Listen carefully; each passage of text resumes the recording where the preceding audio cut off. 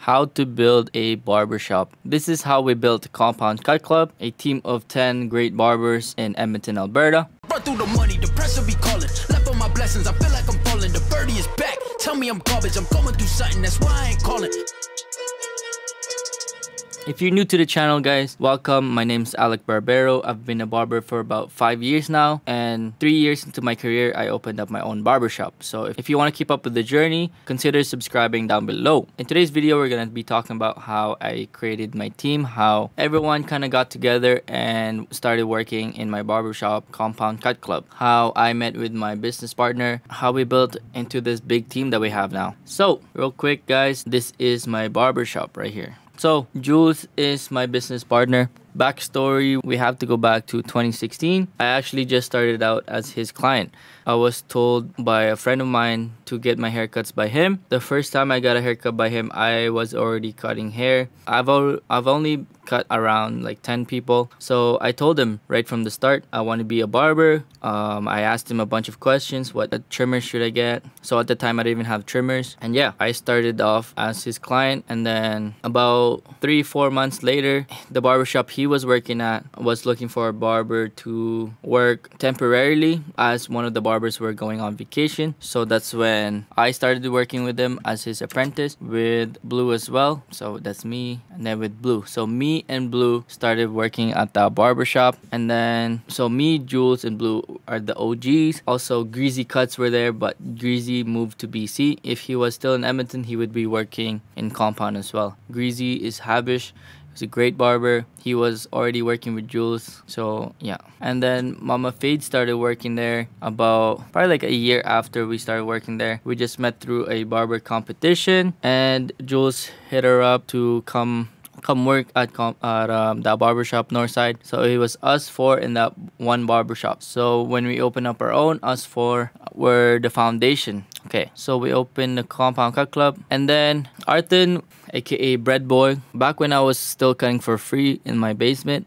I already met Arthon, but we didn't work together until I opened up Compound. He's not part of the OGs, but he is an OG client. Just like how I was a client to Jules, he was a client to me. And some people don't know this actually, but I was the one who inspired him to be a barber. I was cutting hair for free, and he was just asking random questions like, why would you even do this? Um, what makes you want to cut hair? This and that. I was just like, I just do it because it's fun. And then he was like, oh, damn, let me try it too. And then maybe I'll have fun with it too and he did. So yeah, I gave him his first pair of clippers. He was right from the start. He was already good. I I seen the vision. Um, obviously he was getting a lot of haircuts, so I knew he knows what a good haircut looks like and he knows how to get there. So Arthon was working at a different barbershop when we opened Compound, but he was always been my client. Like he was or he was always coming to me for haircuts even though he worked at a different barbershop. So I guess he really liked my haircuts. That's how we stayed connected. So being a good barber is important to build a team. If barbers are getting haircuts from you, that says something. Um, you know, they, they admire your work and that's why they're gonna be working for you because because they don't want to work for someone that's you know whack. They don't want to work for a barber that's not better than them. I or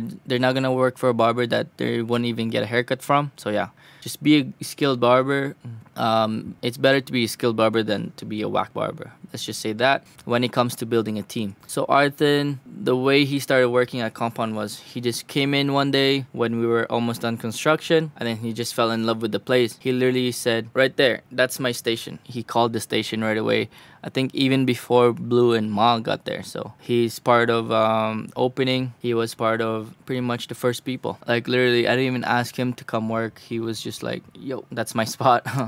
so he pretty much hired himself. And then Cams was in school when we opened up Compound, but we always knew her from uh, mutual friends. Um, I knew her before she even started hair school, just from clients. And then yeah, we noticed how she's only in hair school, but she's already really good. We saw potential talent. So me and Jules hit her up. We are like, oh, do you even have a salon or a spot to work at yet? She didn't, but a lot of our clientele knew her. Uh, a lot of our clientele's girlfriends knew her. So it, it just made sense. Yeah, we just asked her to come uh, try it out, come work for us, come work with us at Compound. And yeah, so she probably started a few months after we opened. So she's part of um, the OG fam. Um, yeah, we had 10 seats So right now there's six of us now. Probably around we opened 2019 August and September was when she started around there. She was still in school too, so she had to do part time at first. But yeah, definitely we just recognized talent right from the start. And then next person we hired was Paolo. So Paolo was always been a client of ours. I was cutting him in my basement. Jules was cutting him at the shop, barber shop. Even Blue. I think when he was cutting his friend's hair, it was just for free. And then one day Blue told him to start charging, and then he did. Um, but like the way we hired him was, I couldn't tell he was good at cutting just because of the way he held his clippers and the way he flicks. The fades were not like good yet. I was like, damn, this guy just needs a little bit of training and he's gonna be all good. Cause he had the flick, he had the he had the vision. He just doesn't know how to connect everything yet. So I just told him, just come for some trainings. I taught him how to section and all this and that on a mannequin. We don't really have the traditional way of hiring people. We just kind of tell them, come come for a training, see how it goes from there. So I was just teaching him for free free. Like I don't charge for it. Um, we kind of just do favors, and you know, I saw the potential, and I was like, "Yo, bro, just start cutting hair. just start cutting hair here." And he was like, "Yeah, sure." So he was cutting for a while, but he never took it seriously. Compound was just a perfect place for him to, you know, be more professional about it and actually look at it as a career. And yeah, we probably hired him um, December. He started coming in November for training, and then hired him in December 2019. And then hectic cuts. He's actually not a comp compound anymore now. I'm making this May 15, 2021. But yeah, he still worked at compound for a good year and a bit. Um, the way we hired him was the same as Arthon. He kind of just came in and was like, "Yo, I'm working here now." Um, he knew we had a spot and he liked the vibe. Um, he's always been a barber homie of ours, just from like barber competitions, barber meets. He always came to get haircuts by us too.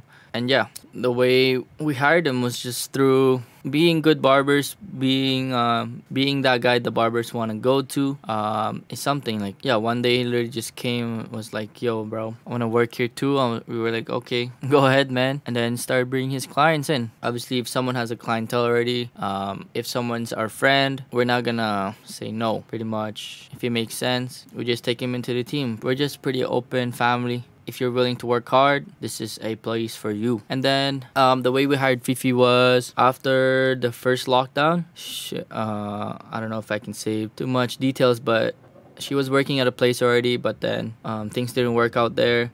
So she was looking for a place where she can start cutting after the lockdown. So she was connected through Cam Camille, but she, she always followed Compound or she always followed me. I don't know if she followed anyone else, but I was like, yeah, just come in for some shadowing. I can teach you some men's cuts. But she also knew how to do women's hair, blonding, and all that. She also knows how to do perms, women's cuts. So she's just a well diverse hairstylist slash barber. But yeah, she wanted to just learn more of the fadings. So I told her to just come in and see if she'll like it. And then, yeah, she was open to working at Compound. So we set up an interview and all this. She's probably like the most um, actual, what do you call it? Like we actually did a hiring process for her. That's probably like the first ones just because she's coming from a salon and yeah, it's a bit more professional. We actually did a interview and this and that, but she was coming for trainings beforehand. So yeah, Fifi started just last year. Um, um, she's she's doing more blonding services now, but she was she's still a barber. Her barbering skills definitely improved. But yeah, we connected through social media. Also, her brother is a friend of ours, so yeah, um, we know her through her family. But yeah, pretty much we just give value to people, and through training her, she she wanted to try it out and work here at Compound. So yeah, just I guess doing a good deed gives you access to you know people that are good and are willing to work and yeah that's that was the case with fifi i guess. Okay pat the barber. So the way um, we hired pat the barber was this guy's super young he's only like 20 he was west side. I've always known about him through some clients that knew him so i was always following him from the start from social media. We hired him through he applied because uh, my mom knew his mom and he wasn't happy at the place he was working at. My um, his mom told my mom I was like, oh, we'll just set up a set up a meeting or whatever. So he just came into the shop. I met up with him. Seems like you know I liked him from the start. He was a cool guy. Seems like he works hard for his age, and yeah, definitely he's always providing value in compound. And yeah, I saw that I saw that he would be good, and we just took the chance. One day he came for uh, almost like a tryout. He came and cut his friend.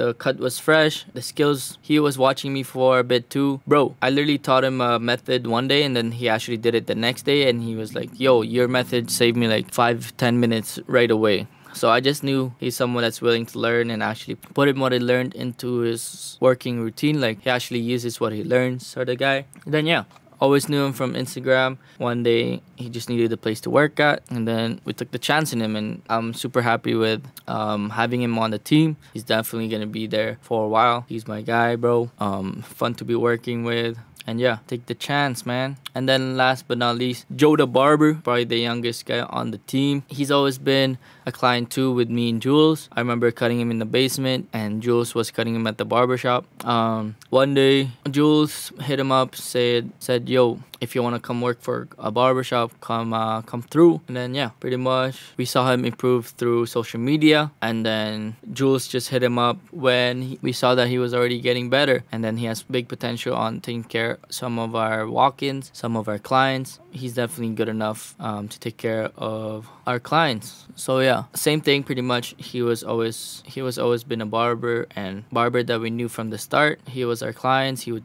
come in and shadow a lot. He would uh, just watch and improve his craft. So pretty much the same as the other guys. Connected through social media. Social media is super strong now as we stay connected through online without even needing to meet people. And yeah, we're taking the chance in Josiah and he has lived up to the hype. So pretty much that's us. There's 11 of us. Another member of the team that people don't know about is our bookkeeper slash you know um, assistant coach. He does everything paperwork, team managing, and all this. Patrick Vin, he's the guy. He's the guy in the back here. He's this guy in the back. That's our bookkeeper slash assistant. But yeah, um, he's Julius' childhood friend. They literally grew up together, and he's in school for business, and he knows how to do all of that back back end stuff. Um, I think he's super important in the team. He makes sure that everyone gets paid. He makes sure that um, everything runs smooth. So yeah, that's how we built Compound Cut Club. That was a bit longer video,